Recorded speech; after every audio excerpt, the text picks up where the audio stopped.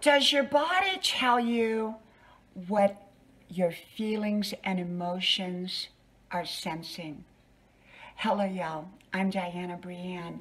I don't give advice, suggestions, information, recommendations. I just share with you my perspective on different topics. You know, Grandma used to say, I can just feel it in my stomach. I can just feel it in my gut. Or she'd say, I feel it in my heart. And often we hear those expressions. And so why do we use those expressions? I can feel it in my gut. I can feel it in my heart. Because I think sometimes our emotions um, can go to certain parts of our body. When we feel like something's not just quite right, we can sense it in our gut, you know. And when we are in love, we feel it in our heart. We often put our hands to our heart. So I don't know if that's, you know, there's any fact basis behind that. But I do know when something's not right, I can often feel it in my stomach.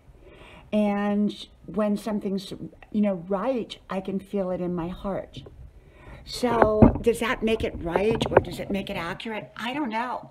But grandma used to say, she used to have those expressions. I can feel it in my stomach and I can feel it in my heart. From my house to yours, may God bless you. I hope you like, share, subscribe, and I hope to talk to you soon again. Bye-bye.